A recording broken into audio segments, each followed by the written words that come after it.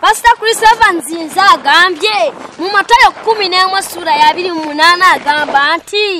mujje gye ndi mmwe abakooye era abazitobereddwa nange naabawummuzanga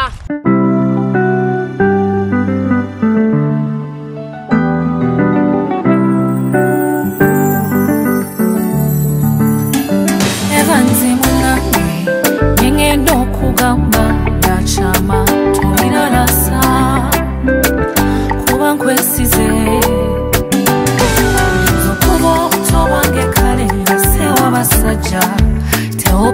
na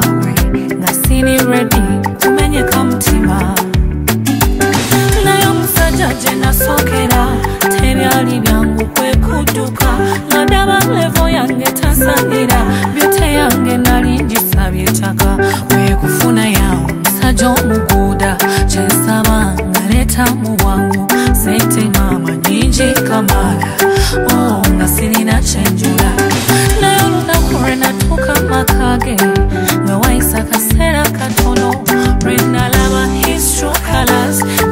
naba tesikyaddayo otewo gwe yali omusanyufu masiga gukulukusa yeewo baddoota nandiseeyo gye nasookera naye kati tekikyasoboka nze mbuuza ku malala gotewo kise kikyokujulirira oli muwogo ne nakati nandiseeyo gye nasookera naye kati tekikyasoboka tewo wange yali omusanyufu ng'olina ebitumbwe amaaso mataala byonna byaggwawo mukazi wattu era kati nasigaza nkompe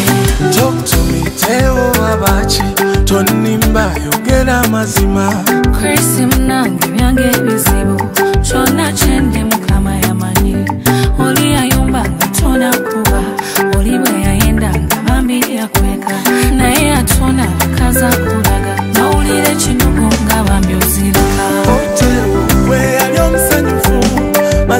masiga gukulukusa yeewo baddoota nandiseeyo gye nasookera naye kati tekikyasoboka nze mbuuza ku malala gotewo kise kikyokujulirira oli muwogo ne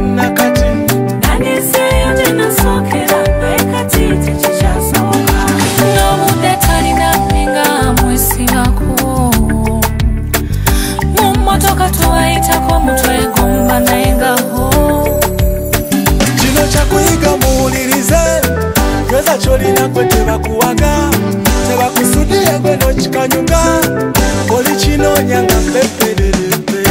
otewo gwe yali omusanyufu masiga gukulukusa yeewo baddoota